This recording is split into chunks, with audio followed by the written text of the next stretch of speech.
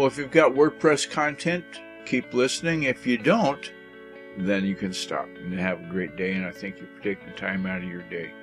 This episode of the Guy. Cook Report is about how to back up a WordPress site safely. I don't want it to be a real complicated, you know, back up the database and back up all the files and everything. I want it to just be one click simple.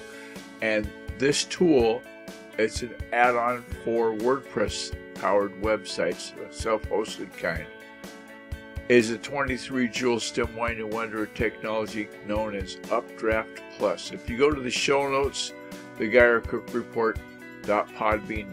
will tell you all about it there and getting that job of making your content safe and having that spare tire in the trunk, if you will, as you travel down the information highway. A little play on words.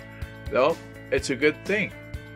Hi, just real quick, there's three ways to get a hold of Guy R. Cook. You can go to the GuyRCookReport.podbean.com, just like it shows in that text there. Or you can look me up on about.me whack guy r cook and contact me through that url or you can call the new cell phone number 509 200 1429 look forward to talking to you so there you have it making that backup and, and making it easy as cake to do that's what this episode of the podcast has been about i want to thank all the patrons to support this effort, as well as you for taking time out of your day.